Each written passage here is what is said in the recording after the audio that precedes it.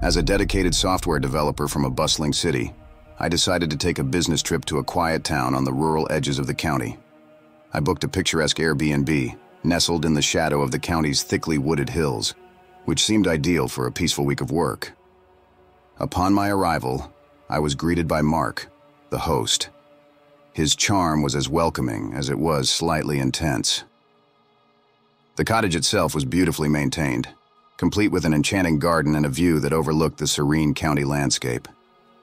However, I soon noticed that the nearest neighbors were uncomfortably distant, and the town itself seemed unusually quiet. This isolation, though initially appealing for its peace, began to stir a slight unease in me as the days passed. During the initial days, Mark's hospitality seemed impeccable. He prepared home-cooked meals with ingredients sourced from the local county markets and regaled me with stories of the town's history. However, my comfort began to erode as his actions hinted at an unsettling attentiveness.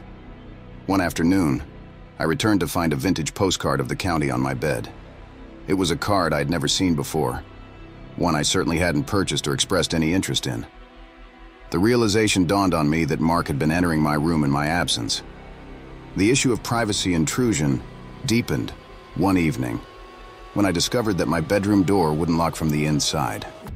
I brought it up with Mark, who responded with a casual air, brushing off my concerns as he promised to fix it, soon. But as days passed, that promise was conveniently forgotten. Each of these instances chipped away at my sense of security, replacing the initial charm of the cottage with a growing dread.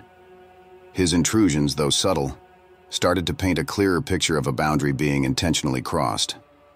Each night, as I lay in that unlocked room, the isolation of the cottage in the vast county no longer felt serene, but ominous, making me acutely aware of how alone I truly was.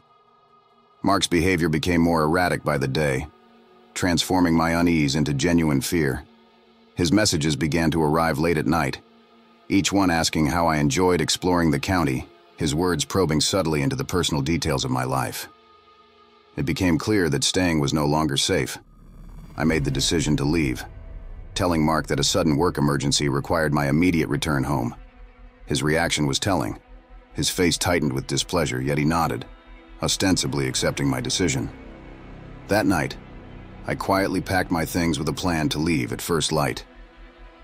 The once comforting solitude of the cottage now felt oppressive, and each creak and whisper of the wind through the trees heightened my anxiety. I was ready to escape at dawn, hoping to leave behind the unsettling experience of being watched too closely in this remote part of the county. My heart sank as I realized that my door had been locked from the outside. In a panic, I checked my phone. No signal. The Wi-Fi was down as well. It seemed all my lines to the outside world had been deliberately cut. With no other exit options, I turned to the window. Climbing through with a mix of fear and urgency, I dropped into the chilly air of the county's moonlit garden. To my horror, Mark was there waiting, his figure emerging from the shadows. He approached, his expression a disturbing mix of desperation and affection, as he confessed his feelings. We're meant to be together forever, he said, his voice oscillating between pleading and menacing. The garden, once a quaint feature of the Airbnb, now felt like a stage for a sinister revelation. His words, meant to be declarations of love, sounded more like threats as the moon cast eerie shadows around us. Trapped and desperate, I knew I had to play along with Mark's delusions to buy myself time. I reluctantly agreed to his plan of spending the day together, touring the county. Throughout the day, I managed a forced smile and nodded along to his chatter, while my eyes darted around, constantly searching for an opportunity to seek help. We visited a local cafe, a quaint spot that seemed a slice of normalcy, and there I spotted a public phone. It was a potential lifeline, yet Mark's presence was suffocatingly close. He watched my every move with an intensity that made it impossible to reach out without arousing his suspicion. Each minute with him tightened the knot of anxiety in my chest as I feigned interest in his stories, all the while feeling the weight of his gaze pinning me in place. That night, I waited until I was sure Mark was asleep, and then I made my move. Silently, I slipped out to the cafe, my heart hammering in my chest with every step. The public phone was my only hope. I quickly dialed 911, but as I whispered my location into the receiver, a chilling realization set in. I was being followed. Mark had noticed my absence and was now in hot pursuit. I dropped the phone and ran through the empty county streets, his shouts haunting the night air behind me. My breaths were sharp and desperate as I sprinted toward the faint lights of an approaching police car. Just as the lights came into clear view, Mark caught up, grabbing my arm. I screamed for help at the top of my lungs, my voice breaking through the quiet night, finally catching the attention of the officer. The police intervened quickly, responding to my screams.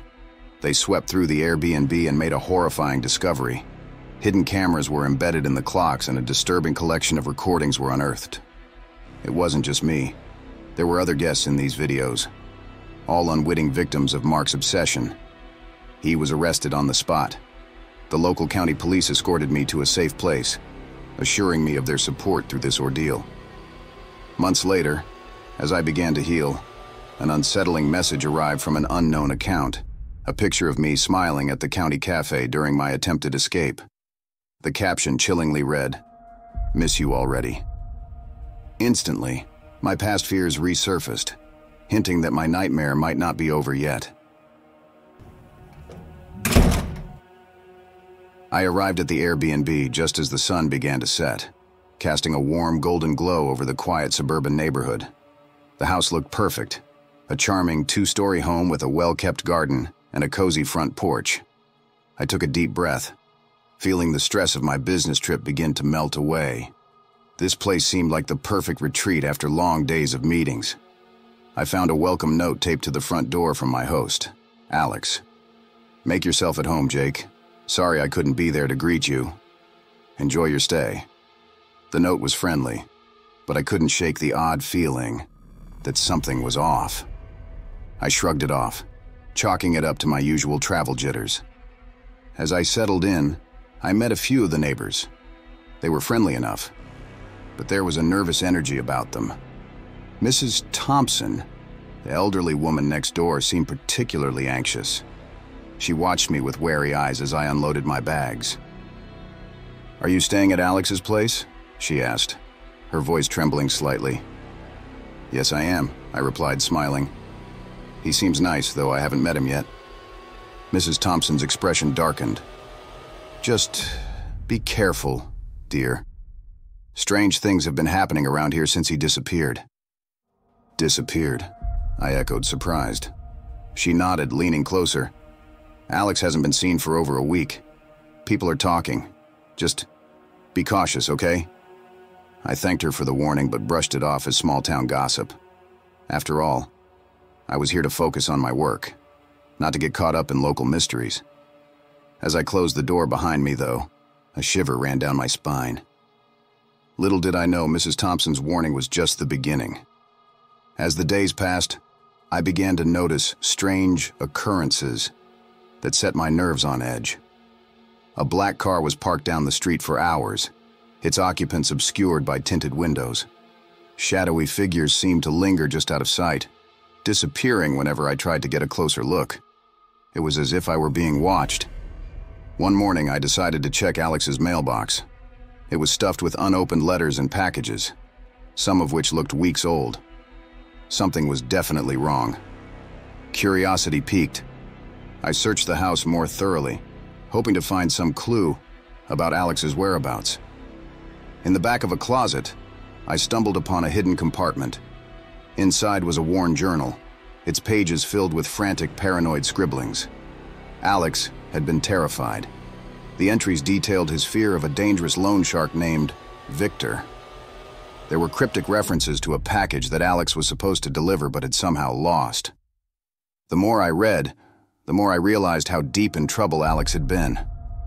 That evening, as I tried to make sense of the journal, my phone buzzed with an anonymous text message. Leave now, or you'll regret it. My blood ran cold. Who was watching me? What had I gotten myself into? Determined not to be intimidated, I decided to stay, hoping to uncover more about what had happened to Alex. But the threats escalated. One night I stepped outside to find my rental car's tires slashed. A note was pinned under a windshield wiper. You're next. Fear gripped me. This was no longer just an unsettling mystery. It was a dangerous game, and I was caught in the middle. The sense of isolation grew as I realized I couldn't trust anyone. Every shadow, every unexpected sound sent my heart racing. I had to figure out what happened to Alex before it was too late. Feeling increasingly unsafe but driven by curiosity and a sense of justice, I knew I couldn't just walk away. Alex's disappearance was too troubling, and I felt compelled to uncover the truth. During one of my cautious ventures outside, I met Lisa, a neighbor who seemed genuinely concerned and aware of the strange happenings. She was a bit younger than me, with an air of quiet determination. Have you noticed anything strange around here? I asked her one afternoon. Lisa nodded, glancing around nervously. Alex was a friend. When he disappeared, I knew something was very wrong, but people around here are too scared to talk. We decided to team up, pooling our knowledge and resources. Lisa's insights into Alex's life and my findings from the journal made us a good pair. While poring over the journal, we found a reference to a storage unit, a place where Alex had hidden something important. Armed with this clue, we searched the house and found a small, rusty key tucked away in the back of a drawer. The label on it matched the storage unit number mentioned in the journal. With a mix of trepidation and determination, we decided to check it out. The storage unit might hold the answers we were looking for, clues about the mysterious package, and perhaps even Alex's whereabouts. As we headed to the storage facility, the danger was palpable, but there was no turning back now. At the storage unit, Lisa and I held our breaths as we lifted the creaky, rusted door. The unit was cluttered with old furniture and boxes, but it didn't take long to spot the package mentioned in Alex's journal. It was a battered briefcase, inconspicuous yet oddly foreboding. We opened it and gasped. Inside were stacks of cash and a collection of documents implicating several local officials in illegal activities. Holy crap, Lisa whispered, her eyes wide with fear. This is what got him into trouble. Before we could fully process the gravity of our discovery, we heard footsteps. The door slammed shut behind us, and we turned to see Victor and his men blocking our only exit. Their faces were cold, menacing. Well, well, look what we have here, Victor sneered. Did you really think you could just waltz in and take that? Panic surged through me, but I forced myself to stay calm. We need to get out of here, I whispered to Lisa. In a split-second decision, we used the clutter to our advantage, toppling shelves and boxes to create a barrier. Amid the chaos, we slipped past Victor's men and bolted for the exit. The chase was on. We sprinted through the dark, deserted streets, our breaths ragged with fear and exertion. Victor and his men were close behind, their shouts echoing in the night. My heart pounded as we dodged into narrow alleys and jumped over fences, desperate to escape. Finally, we found refuge in an abandoned building. We ducked inside, our backs against the cold, damp wall. The footsteps and shouts grew distant, and we dared to hope we'd lost them, at least for now. This isn't over, Lisa panted, clutching the briefcase tightly. But we can't stop. We need to expose them. We can't keep running, Lisa said. We need help, real help. With a shaky breath, I used a burner phone we'd found in the storage unit to contact Victor. Pretending to be desperate, I told him we wanted to strike a deal for the safe return of the package. Victor, suspicious but intrigued, agreed to meet us at a secluded location later that night. While we waited, I secretly contacted the police, explaining our situation and the evidence we had. The officer on the other end was skeptical at first, but agreed to send a team to the meeting point. As the night wore on, we arrived at the designated spot, an abandoned warehouse on the outskirts of town. The place was eerily quiet, the perfect setting for a confrontation. Victor and his men arrived shortly after, their expressions a mix of anger and curiosity. I could see the greed in Victor's eyes as he spotted the briefcase. Let's get this over with, he growled. Unbeknownst to Victor, the police were lying in wait. The tension was unbearable, but we had to see it through. This was our chance to end the nightmare and bring justice for Alex. As we stood in the abandoned warehouse, the tension was palpable. Victor's eyes darted around suspiciously, and I couldn't shake the feeling that something was wrong. You really thought you could outsmart me? Victor sneered, a sinister smile creeping across his face. I knew about the police the moment you called. My heart sank as Victor's men stepped out of the shadows, guns drawn. It was a trap. We were surrounded. Just as we thought we were cornered, the sound of sirens filled the air. The police had arrived, tracking my phone as planned. A tense standoff ensued, the police shouting orders and Victor's men hesitating. Victor's face twisted with rage as he realized his plan was falling apart. Drop your weapons, an officer commanded. Victor's men wavered, and in the moment of hesitation, the police moved in, swiftly disarming and arresting them. Victor was dragged away, his eyes burning with hatred. Breathing heavily, Lisa and I clung to each other, the briefcase still in our possession. The nightmare was finally over. Victor was in custody, and the evidence we'd risked our lives for was safe.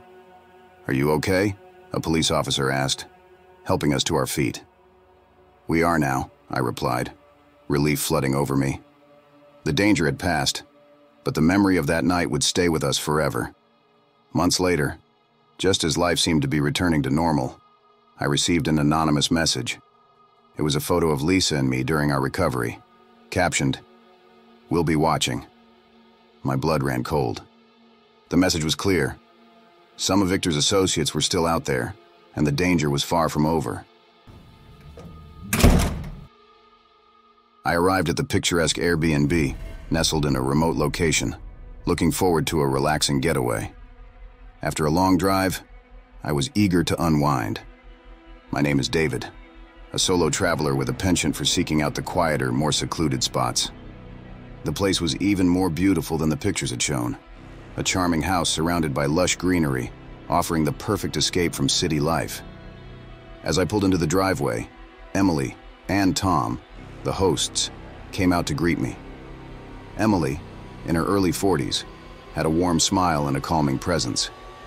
Tom, slightly younger, seemed overly eager to please, almost as if he was trying too hard to make a good impression.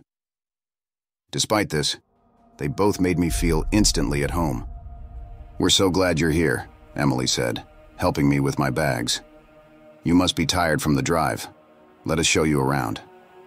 At first, Everything seemed perfect. Emily and Tom were incredibly accommodating, making sure I had everything I needed. But it didn't take long for me to notice that Tom's friendliness was bordering on intrusive. He asked a lot of personal questions and seemed overly interested in my plans and background. While Emily was more reserved, Tom's eagerness to befriend me felt unsettling. The first night, after a pleasant dinner with the hosts, I settled into my room. As I was about to fall asleep, I heard muffled voices coming from the kitchen.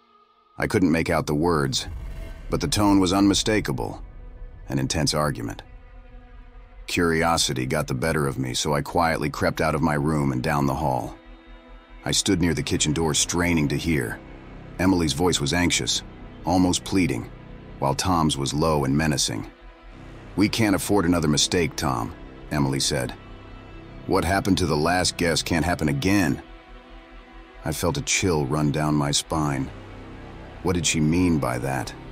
Was it just a misunderstanding? Or was there something more sinister at play? I decided it was best to stay cautious. I didn't want to jump to conclusions without more information.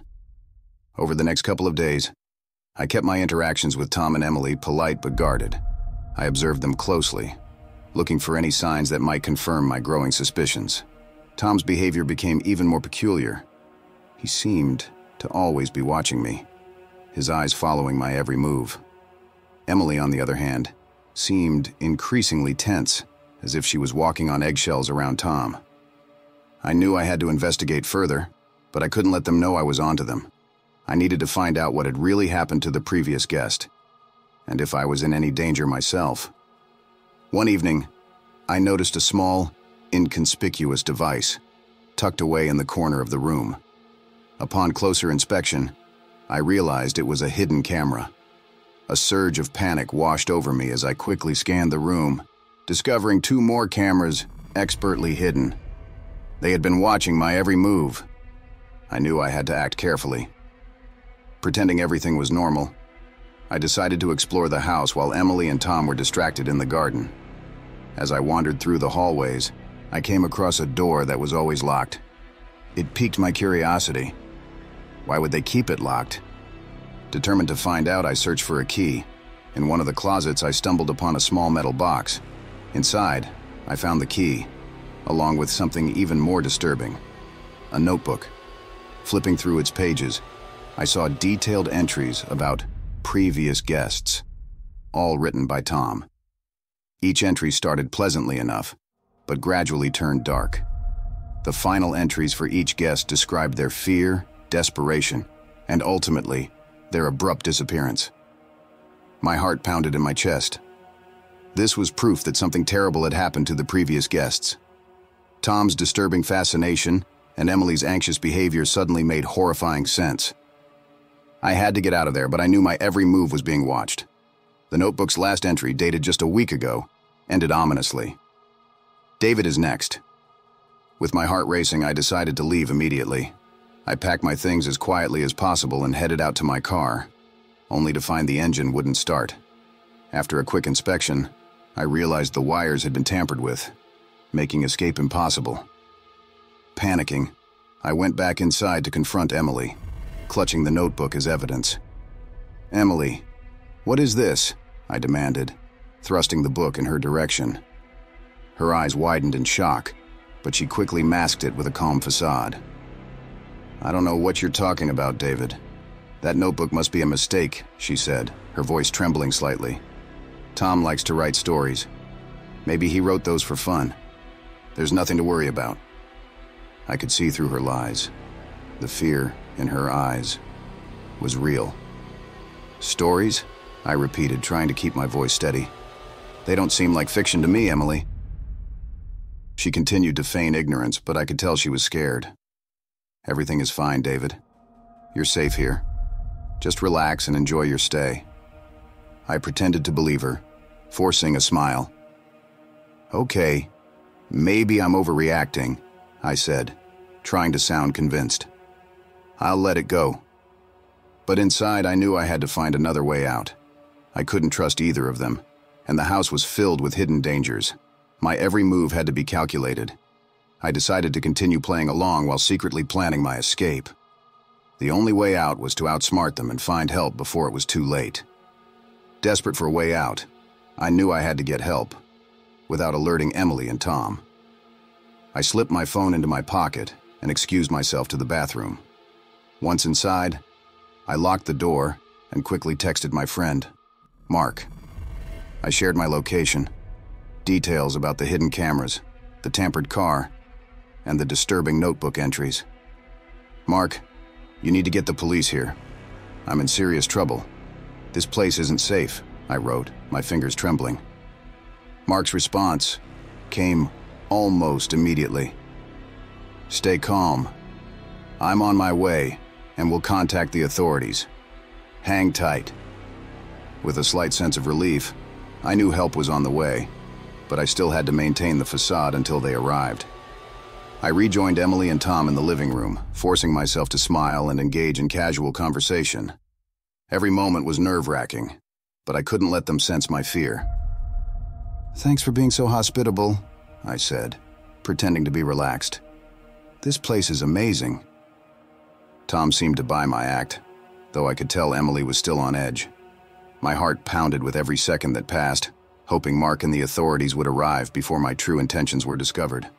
I continued to play along, making small talk and pretending to enjoy my stay, all the while feeling like I was walking on a razor's edge. Tom's behavior escalated quickly as he began to sense my growing distrust. His once overly friendly demeanor turned dark and intimidating. He dropped subtle threats into casual conversations, and his eyes rarely left me, adding a chilling tension to the atmosphere. As the evening wore on, I excused myself under the pretext of needing some air and made my way to the basement. My hands shook as I unlocked the door. Inside, the grim reality hit me hard. Bloodstains smeared on the floor, and personal belongings of previous guests were scattered around. Each item was a silent testament to their horror. While examining the horrifying scene, I heard footsteps. Tom stood at the basement door, blocking my only exit, his face twisted into a menacing grin. Looking for something, David? he asked, his voice cold and threatening. Panic surged through me. But I remembered the small knife I had found in my room earlier and had instinctively pocketed. As Tom advanced towards me, his intentions clear, I pulled out the knife. A struggle ensued, fierce and desperate. I managed to push him back, and with a surge of adrenaline, I shoved him into a small room in the basement, slamming the door and locking it. Breathing heavily, I leaned against the door, my heart pounding in my chest. Tom banged against the door, shouting threats, but the lock held. I knew I had to leave before he found a way out. This was my chance to escape and alert the authorities before it was too late. Just as I steadied my breath, the sound of sirens pierced the air, and within moments, police cars flooded the property. Mark had arrived with them, pointing the officers towards the house. Emily rushed out, her expression one of panic, as she attempted to spin a story of misunderstanding. Despite her efforts, the police, already briefed by Mark about the situation and the evidence I'd found, were not swayed by her lies. They moved past her and into the house, where I emerged from the basement, leading them to where Tom was still locked up. Tom was apprehended amidst a barrage of threats and curses, his anger palpable, even as he was handcuffed. The officers conducted a thorough search of the house, uncovering the full extent of Emily and Tom's crimes. The belongings and evidence in the basement painted a clear picture of the numerous guests who had vanished. Emily, unable to maintain her facade any longer, broke down and was taken into custody. Standing outside, watching the chaos unfold, I felt an immense rush of relief wash over me. I was safe, finally rescued from the clutches of this nightmare.